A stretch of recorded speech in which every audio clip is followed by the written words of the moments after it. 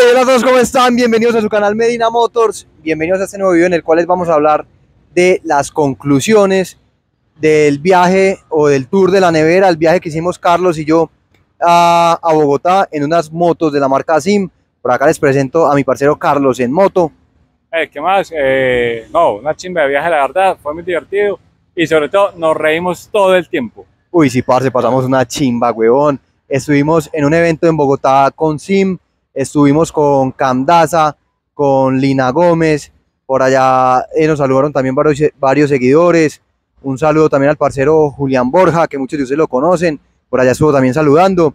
Y nada, le vamos a hablar un breve video de cómo nos fue en el viaje, cómo nos fue en las motos sim, de la experiencia con estas motos y también podemos hablar bastante de la experiencia en esta ruta que es bastante complicado, ¿no? Sí, bastante porque tiene tramos difíciles, tramos divertidos, estamos para darle duro y muchos tramos peligrosos. Bastante. Entonces, la verdad fue muy entretenido, muy entretenido, bacano y sobre todo andar en moto, no importa en la moto que sea, no importa el cilindraje, se puede viajar siempre. Así es, vamos a darle. Bueno, y comencemos hablando entonces de estas dos máquinas, dos muy buenas motos. Sim NH Tracer 190, en la cual viajó Carlos, pero es importante aclararles que toda la información sobre esta moto, cómo fue la experiencia de Carlos en ella, la van a ver en el canal de Carlos, para que vayan y lo sigan. Cuando vean este video, Carlos en moto, para que vean cómo les fue, cómo le fue a Carlos en esa máquina. Yo les adelanto un poquito, nos fue muy bien, afortunadamente, pues en cuanto a calidad de la moto, en cuanto a seguridad, nos fue supremamente bien. Y ya yo les iré contando sobre la NHX 190i, en la cual yo viajé, pero también pude probar esta por un tiempo en carretera y se desempeña muy bien. Ahora, quiero preguntarle primero que todo a Carlos, que también tuvo la oportunidad de probar esta moto, cómo le fue al momento de probarla y de exigirla, que la exigimos bastante en la Ruta del Sol. Bueno, son motos muy diferentes, a pesar de que tienen el mismo motor, son muy diferentes. La NHX es más liviana, eh, tiene, responde un poco mejor, tiene mayor velocidad final. La Tracer, sin embargo, me gusta más para viaje largo, por comodidad, por la posición obviamente mucho más descansada. Sin embargo, eh, en la Ruta del Sol eh, pude manejar un rato esta NHX y esa moto es muy divertida. Curvea rico, tiene muy buena respuesta. La verdad, desde que yo probé la moto, esa moto, de hecho hace varios meses para un video, esa moto siempre, siempre, siempre me ha parecido exageradamente divertida.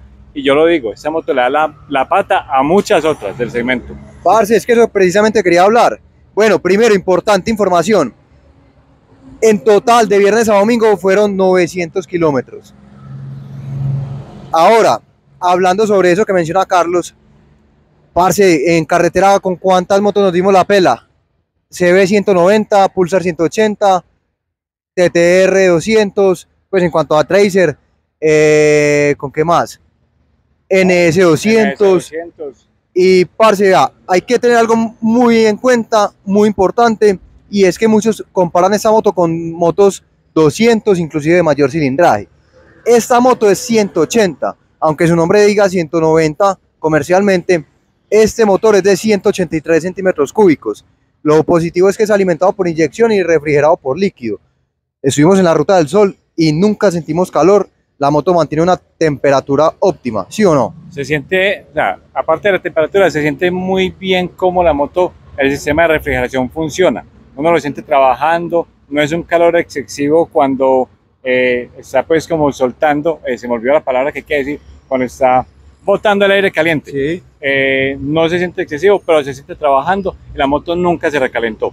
Bueno, y algo muy bacano de la moto es que tiene 18,5 caballos es. Sí. Y 15,7 newton metro de torque. Entonces, todo el tiempo en la Ruta del Sol, quienes la conocen, aunque está en muy mal estado, podíamos viajar a 120, 115 relajada. Incluso un rato que quisimos, de hecho grabamos eh, Top Speed y le dimos duro, duro, duro, llevando la masa más de 130. Así es. Ese video de velocidad máxima y de los viajes a Bogotá lo pueden ver en mi canal y en el canal de Carlos. Son videos recientes para que vayan y los vean. Y ya exigiéndole un poco más, a 8000, 8500 revoluciones por minuto, ella va a 130, 135, no se sienten vibraciones, el motor no se siente que se va a reventar, como pasan muchas motos. Eh, la suspensión en las dos me parece que es muy buena. Me gusta un poco más cómo se siente en la Tracer, pero igual en esta NHX siento que la suspensión funciona muy bien y eso es positivo. De acuerdo, porque parce, pésimo estado el de esa vía, casi toda la Medellín Bogotá está en pésimo estado y las suspensiones sorprenden. Son muy buenas suspensiones, siendo convencionales adelante y monochoque en la parte de atrás. Creo que es ajustable en precarga y absorben muy bien. Yo no me imaginé que fuera a ser tan cómodo el viaje en esta moto. Yo iba sufriendo mucho al principio, pues mentalmente, pensando en cuánto iba a sufrir yo en esta moto por, la, por el tema de comodidad, pero me fue muy bien. El asiento es bastante cómodo, pero obviamente ya después de un rato se vuelve una tabla va uno sentado como en la base del asiento, pero la posición es bastante cómoda y eh, como lo digo, el tema de las vibraciones también es algo bastante importante porque la moto prácticamente no vibra. Igual le pusimos ya de regreso una, una donita para ayudarnos, pues, para ayudarte a vos, porque igual no es lo mismo viajar en la Tracer que en una moto naked, que obviamente la posición es un poquitico más, por decirlo así, agresiva. Correcto. Parce, no, de verdad que quedamos gratamente sorprendidos con estas máquinas. Ahora muy importante también el tema del consumo, todo el tiempo con gasolina corriente, porque digamos que en carretera es muy, muy difícil hallar una gasolina mayor octanaje, pero fueron funcionando perfectamente con corriente. Y ojo a este dato, 900 kilómetros y cada motocicleta se gastó 110 mil pesos en gasolina. Parce, eso es absolutamente nada, nos daban como 140, 150 por galón, inclusive más, pero es que las llevamos todo el tiempo al límite. A tope, nos fuimos a tope y la verdad, bajo consumo, eh, no, y muy buen comportamiento en general, muy buen comportamiento. En, en, curva, por ejemplo, nos fue muy bien. Un par de sustos, que después vamos a hablar de eso. Sí. Pero, pero nos fue muy bien. Igual eh, se siente calidad en la moto. O sea, cuando uno se monta y empieza a darle, se siente mucha calidad, se siente buenos componentes y sobre todo una moto muy fina en las dos.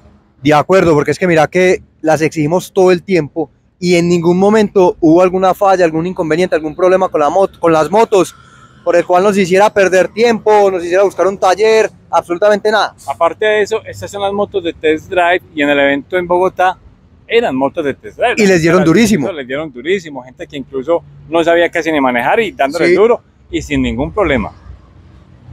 Bueno, en cuanto al frenado, muy buen frenado. El de la Tracer es mucho más efectivo, pero quien no tiene experiencia puede ser algo peligroso si no la sabe manejar. Sí, de hecho me parece que puede ser incluso un poco intrusivo si la persona se pega al freno duro, si no tiene buena experiencia como decís vos.